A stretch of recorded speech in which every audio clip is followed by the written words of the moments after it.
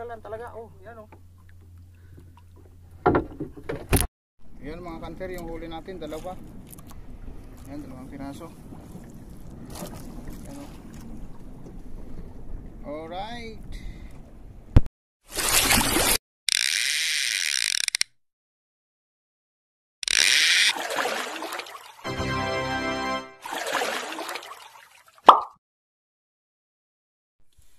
Magandang umaga mga kanter, kamusta po sa inyong lahat? Ah, bale ito na po yung parto ng aking tutorial na in-upload ng isang araw.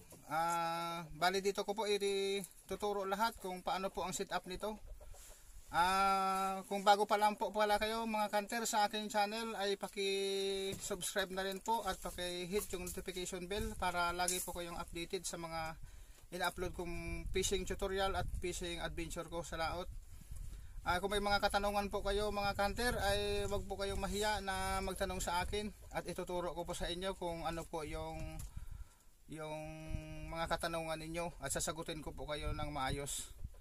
Okay mga kanter, uh, meron pong photo bomber dito sa likod ko yung aking anak. Uh, bago po pala ako magsisimula ay magsha-shoutout po muna tayo mga kanter. Shoutout po sa mga sumusunod. Shoutout kay Jezreel Lasty. Shout out kay Joe Pacaldo. Shout out kay Juan Raul Rapal. Shout out kay Joel Rabino. Mike Blacks na Mike Bla, Mike Vlogs 0207. Bernardo Soniga. Kay Ramer Arnaez ng TV Mix Vlog. Shout out po sa inyong lahat mga sir. Ngayon, itutuloy na natin mga kanter. Ayan mga kanter, ito po yung size ng ating mainline number 15. Ayan. Bali dito ko po ilalatag sa may planggana para hindi po magbuhol-buhol yung ating tansi. Yan, bali ilalatag ko muna dito isa-isa sa planggana para maganda yung pag makita nyo kung paano yung pagkabit natin.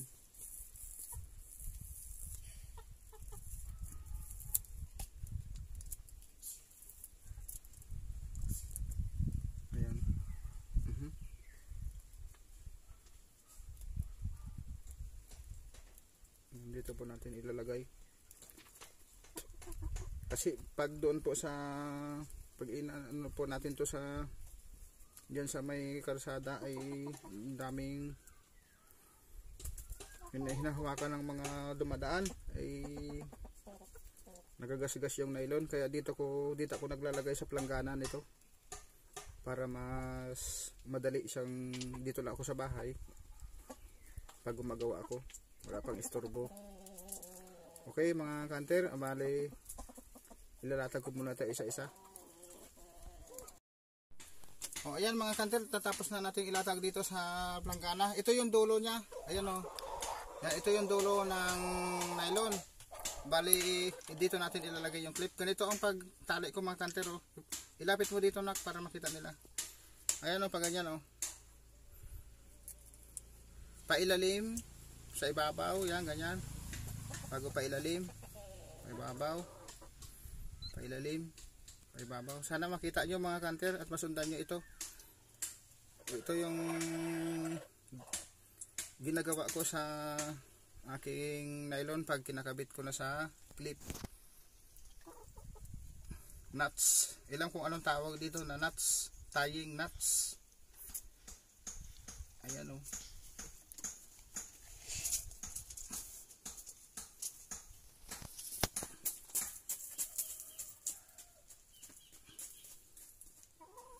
Pailalim ang pagpasok nito sa nylon yan. Pa, pa, pailalim pataas.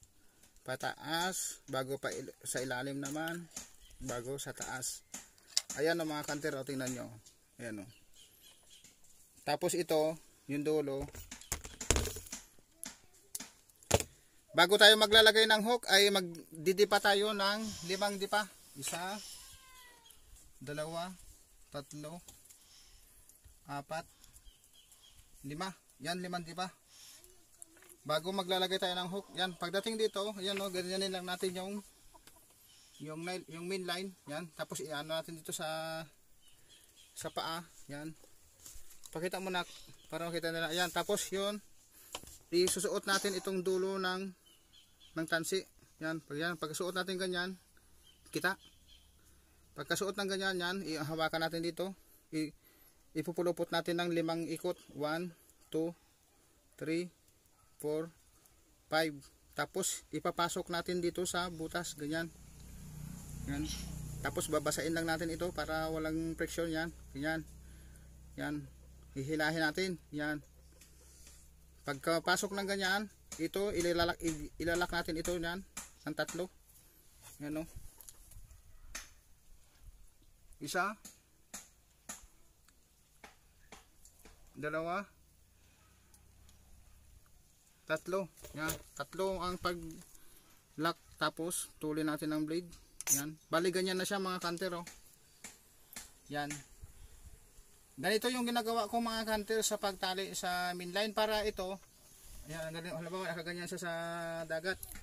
Yan, para ito kasi yung kung tali lang na yung hindi ganito ang style, gumaganya umano ito dito sa sa ano, sa mainline, sumasabit. Kaya pag kinain ng isda, nahahagip yung ating mainline na puputol. Kaya ito, lagi ito siyang nakaganyan. Yan, nakahiwalay dito sa mainline, hindi siya lagi hindi siya umano dito, so, bumubuhol. Yan, ganyan ang style mga kanter. Ayan, uulitin ko mga kanter. Uulitin ko yung pagtali para makuha nyo.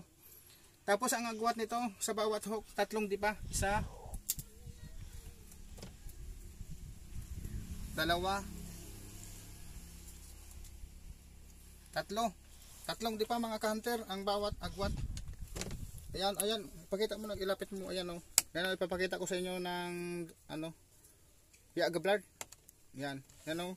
I-ano natin dito sa paa natin yan, ganyan. Tapos ayan. Ito yung line niya, ayan oh, yung sa hook. Ipapasok natin dito. Itikit mo para makita. Yan oh. Yan, pagkakuan dyan sa yan, sa butas. Iikot lang natin ito ng lima. 1 2 3 4 5 Tapos ipapasok natin dito sa yan.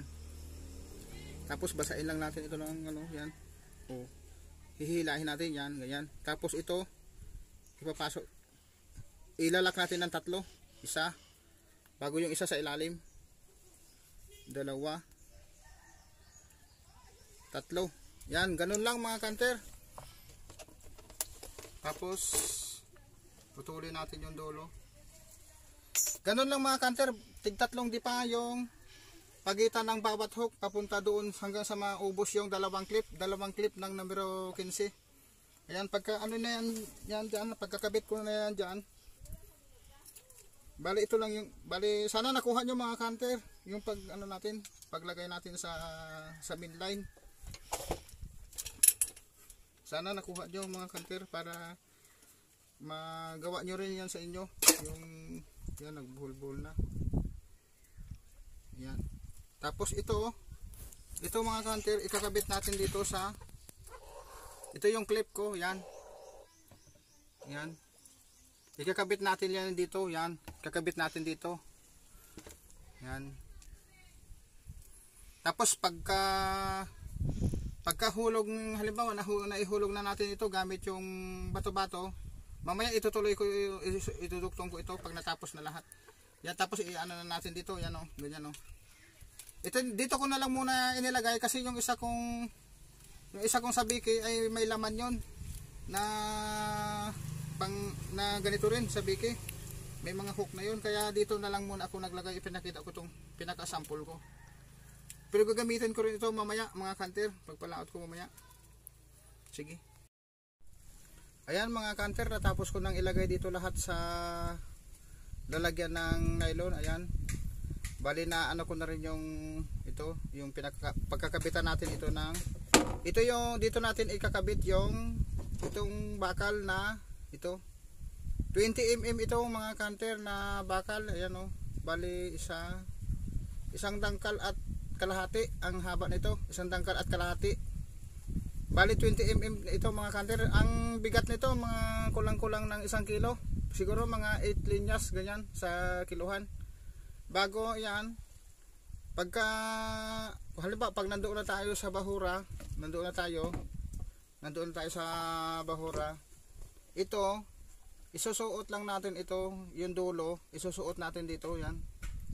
Pagkasuot natin ganyan, yan, yan, ilalagay natin dyan, tapos, yan, ganyan na siya, yan, ganyan na. Tapos ihuhulog na natin itong bato-bato, pababa, hanggang sa i-area na natin ito, isa-isa yung hook. Pagdating sa dulo, pagdating ito sa dulo, bali nandito yung clip niya. Nandito ayan o yung clip niya. O kung nakikita niyo yung clip ito yung clip.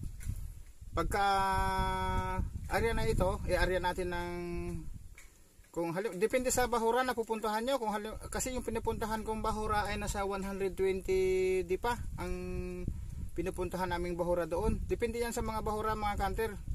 Tapos pag sayad halimbawa sumayad na yung 120 di pa na area natin. Pag sayad sa 120 di pa sa lapag sa seawall ng ano sa sa seabed ng dagat pagkasayad ng 120 magbabatak tayo ng 10 dipa. Babatakan natin na siya ng 10 dipa para hindi sumabit sa bato. Ha, tapos ano natin yan naghihila-hilahin natin pa ganyan pataas pababa dandahan lang. Yan. Kahit hindi mabilis yung paghila-hila natin. Yan pag ganyan. Pataas pababa yung paghila natin. Tapos pag kinainan tayo halimbawa kinainan na tayo pag bata pag pagkabatak natin yung clip tatanggalin natin sa clip yung ano yung dulo. Tatanggalin natin sa clip. Tapos pagtanggal natin sa clip dito naman natin isusuot sa maliit na bakal dito dito naman natin isusuot sa maliit. Magaan lang ito hindi ito masyadong kabigatan. Siguro mga kulang-kulang 1 4 ang bigat nito.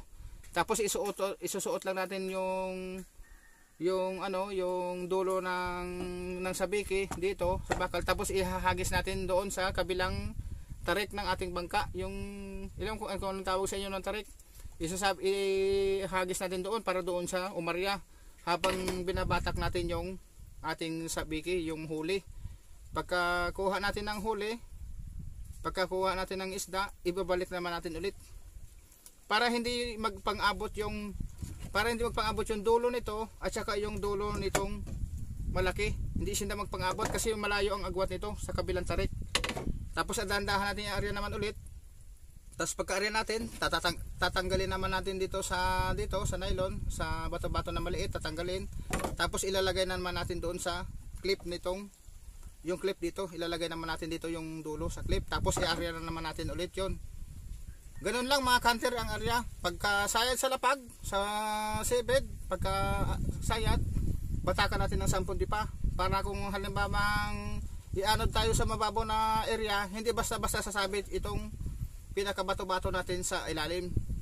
Yun lang mga kanter, sana nakuha niyo po ninyo yung aking tutorial. Tapos yun nga pala mga kanter, bago ko makalimutan, yung pinakahawakan po nito ng ano ng nylon ay numero 40 Numero 40 po siya mga kanter, yung pinakahawakan. Iba, tap, pero yung ito yung sa may hook naman, numero 15. Baka magtanong po kayo. Numero 15 po itong sa may hook. Pati yung tali sa hook, numero 15. Pati yung ito, yung pang-area natin ay numero 15. Yung pinakahawakan naman sa, sa pagdating na sa ilalim, yung pinakahawakan niya ay numero 40 yung bilhin nyo mga kanter. Bali, ang bilhin nyo ay mga pitong clip kasya na yun, yung pitong clip mahaba na yun. Yung pitong clip na ilalagay natin dito sa paglalagyan ng nylon. Okay yun lang mga kanter sana po nakuha nyo po yung aking tutorial na ito at salamat po sa inyong pagsubaybay at patuloy na pagsuporta sa aking channel.